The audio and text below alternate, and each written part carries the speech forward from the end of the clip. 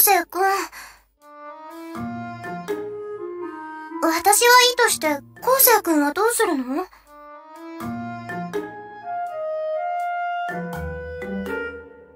私服のままで？昴生君が私の学園に入るの？もし見つかったら不審者扱いされちゃうよ。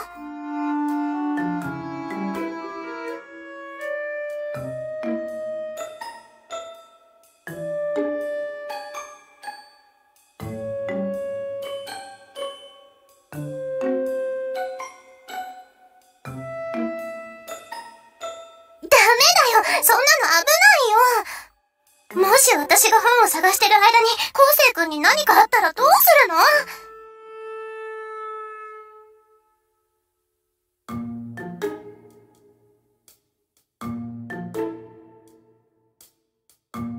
の？でも、帝さんは昴生君も狙われてる可能性はあるって言ってたよ。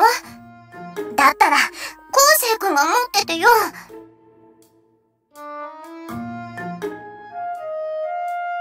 ダメ昴生君が持つの。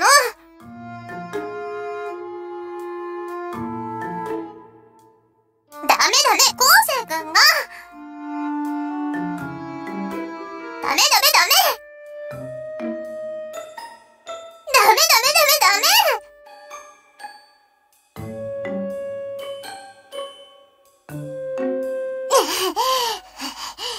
それは私のセリフだ。よ。